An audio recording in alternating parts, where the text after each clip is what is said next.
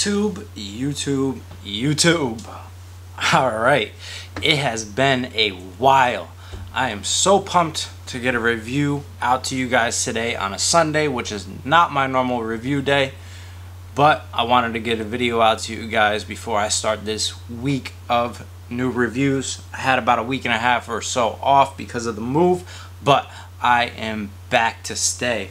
I'm in the new apartment and we got a bigger film area, more comfort, allows me to uh, hopefully create better content. So anyways, today, what we're going to be looking at is the Tauren RDA. I have this here in the red copper. This is uh, Tor uh, Tauren RDA by Thunderhead Creations. It's a dual coil honeycomb uh, airflow RDA 24 millimeters. So let's drop it down low, show you the ins and outs, come back up top, and I will give you my final opinions on it.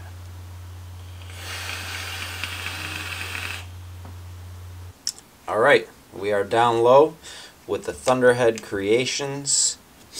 This is the Tauren RDA. It's going to come in this little pouch here. And this is going to signify the color. This is the red copper. This is all they had. Wouldn't have really been my choice just because of the patina on it, but whatever. This is going to be the Allen key, which is going to be for your deck grub screws. You're going to get a little peripheral pouch with the Tauren user manual. In the back of that pouch, you're going to get extra RDA, ugh, not extra RDAs, extra O-rings, squonk pin, extra grub screws, and a certificate, a QC card. We'll just leave it at that. Pretty simple. But this is the part that I like a lot. Inside of that pouch, you will receive this little case here. It's going to say Thunderhead Creations on the top, have their little logo, a scratch and check for authenticity, Thunderhead, uh, Tauren RDA, and then the contents. So, oh, and I guess I mixed up the bottom with the RTA bottom, but this is the RDA top, oh well. So, it's the same thing, it's going to unscrew just like this, and you will have this nice little Addy stand with your RDA threaded down into there. So that's pretty nice, you can work off of it. So, threading the RDA off of there. You can see on the bottom here, it's going to have your number, very high serial number, 11542, Thunderhead Creations, some warnings, and then their symbol, protruding 510 pin. This is the solid one. Squonk is in the package. You can see this red copper has patinaed a little bit. And it picks up stuff very easily. Little design across the top here. Ultem drip tip. And then you've got these little teardrop style airflows. Let's thread it down and check them out. So it's going to be wide open. It's going to be a full teardrop like so. And then you can cut it down like this. And it locks out all the way. But if you lock it out all the way, you can see it does open up a little space. And then locks out all the way open on that side.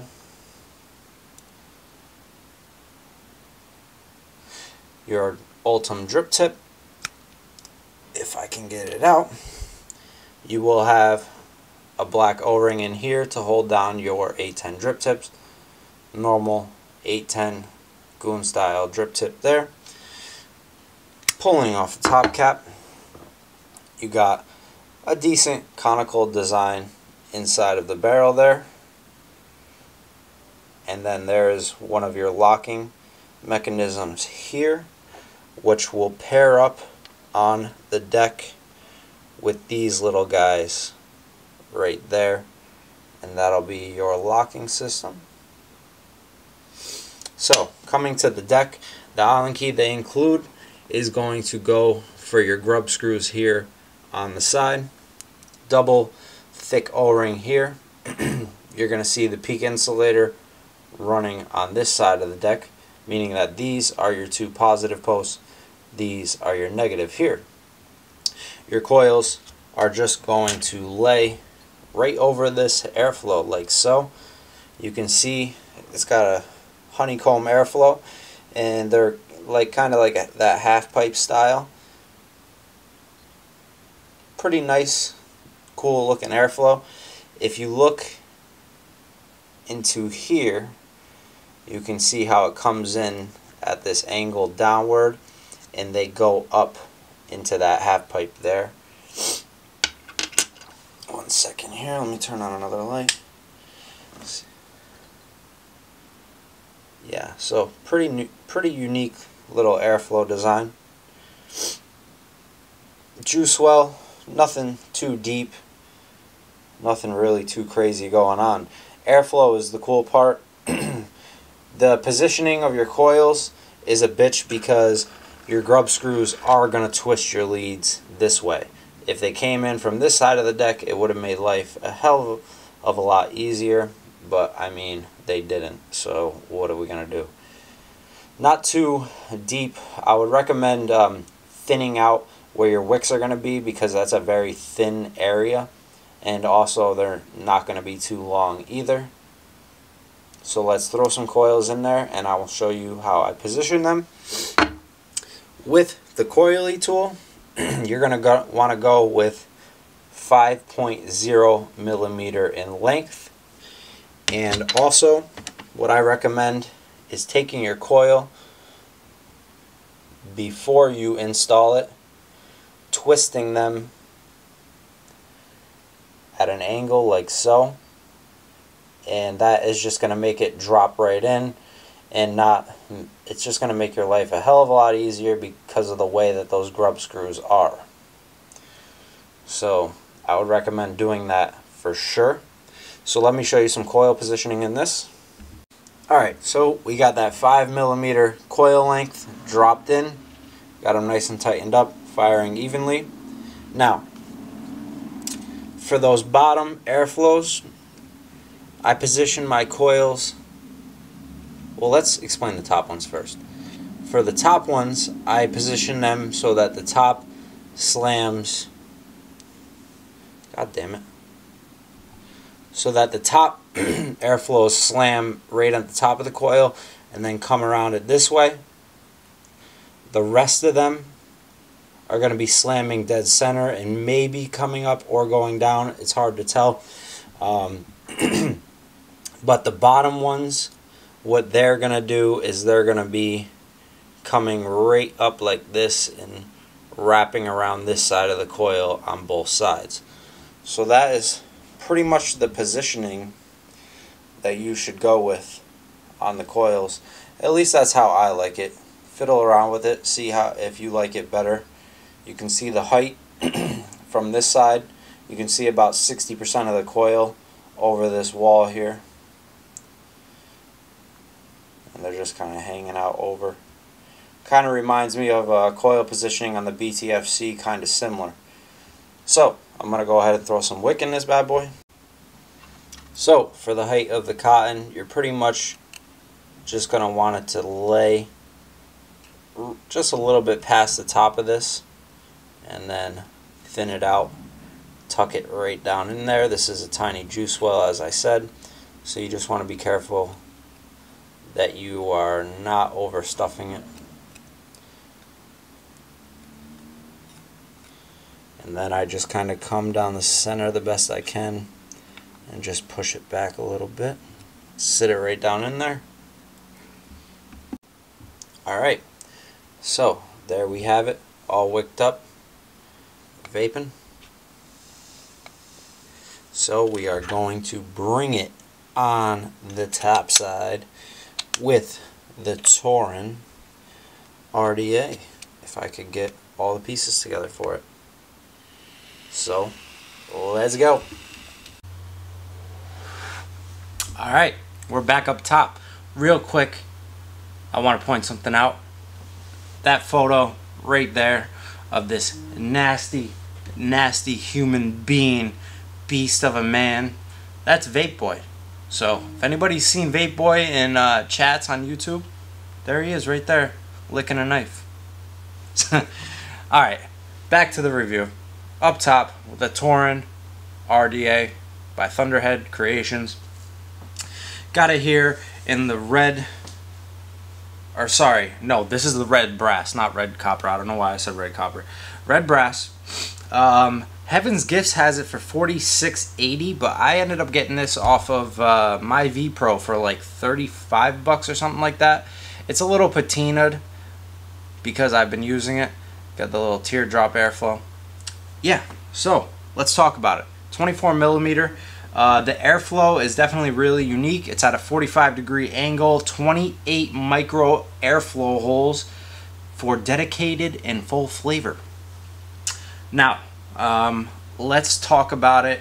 In my opinion, it comes in copper black, copper brass, brass cracked, stainless steel, black brass red, and brass black. So, um, yeah, the RDA itself. It's not the newest RDA out, um, but I felt that I wanted to do a video on it because I do have the Tauren Beast RTA that I picked up at the same time. So uh, I wanted to do a review on this before I did the RTA.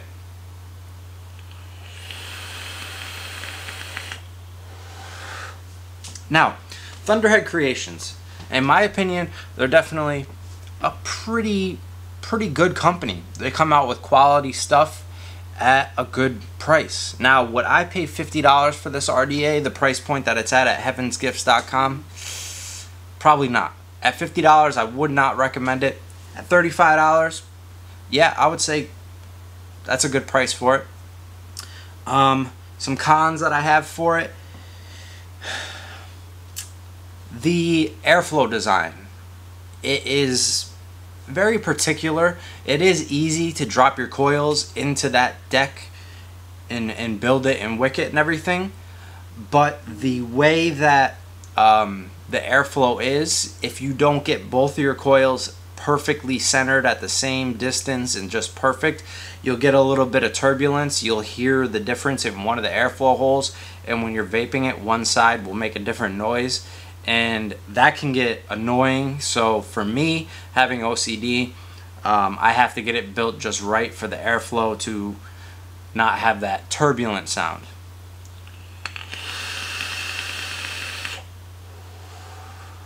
Now, being such a small size teardrop hole, I thought this thing was going to be very, very restrictive. Now, I got a 0.16 on it sitting on top of the Stormbreaker, which is a parallel mechanical mod. It doesn't have enough airflow for me to do a super low build on a mech, but it does have enough airflow to run like a 0.15 on a mechanical mod for me. I like a more restricted, hot dense, flavorful vape. Now, I will say that even though you can hear turbulence if you don't have those coils perfect, the airflow does draw very, very smooth. It is um, a different type of styled airflow. I like the little ramp, how it's designed. Um, it doesn't have the biggest juice well, so you do have to re-drip it a lot.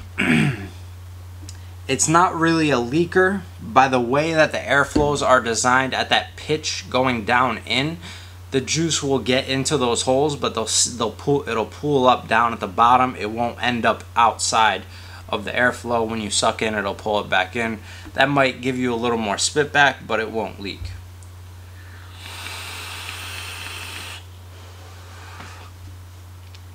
I wouldn't necessarily recommend this to a beginner builder because of how you have to get the coils positioned just right for the airflow. But, uh, you know, if you've been building for a little bit, it shouldn't be too difficult for you. I would recommend putting the top cap on there, drawing on it before you wick it, and uh, make sure you got your coils in a, in a good spot for you and how it, it feels good on the draw before you wick it. Because the first time I built it, I had that turbulence on one side and I had to pull it back apart and fix it because that just annoys the shit out of me. It's not too loud of an airflow. It does, uh, and this is all dependent on, on coil positioning. Wide open, it does have a little squeak to it. I'm sure I could tweak it out by moving the coils. Um, this is at about halfway opened.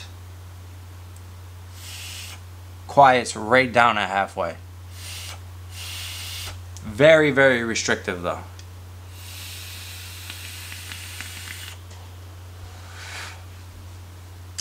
Now as far as flavor goes, if you do build this right to this airflow, it does have very good flavor. You know, you're you got a side more bottom than side airflow. It's a combo of both, but I would say it's a, eh, it's pretty even side and bottom airflow. Um, so you're getting great flavor off of it. Does it keep up with all the RDAs that are coming out right now today?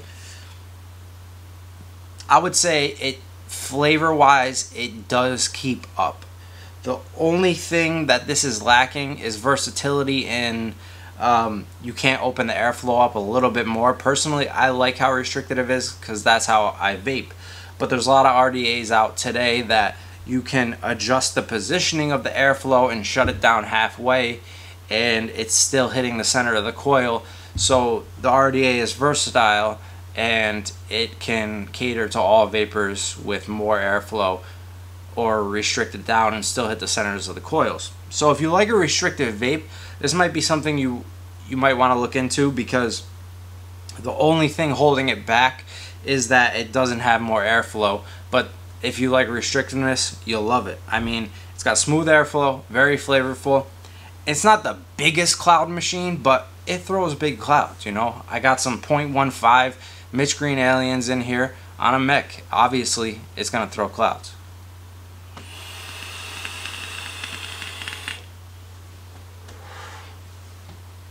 Very flavorful, smooth vape.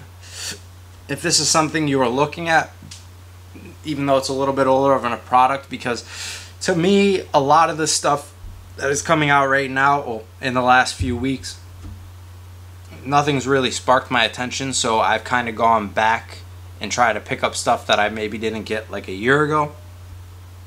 And this is something that I would say definitely puts out great flavor, very smooth airflow. The price point is dependent because I found it for 50 and but I bought it for 35. So if you can get it for 35, I'd recommend it. If it's if you can only find it for 50, eh, you're to have to make that decision yourself. Do I think you can get a better RDA for 30 $35 today? Yes. But if you're like me and you have everything out that's new and you're trying to look at some new stuff, this is probably definitely something you might want to take a peek at if you like a more restrictive vape.